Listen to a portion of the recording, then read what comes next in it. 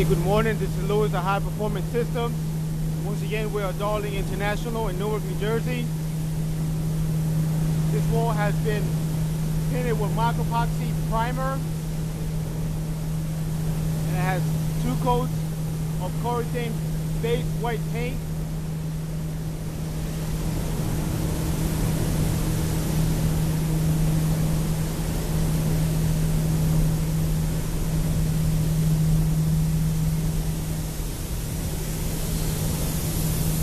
This paint is works extremely well with low and high humidity applications. They're easy to clean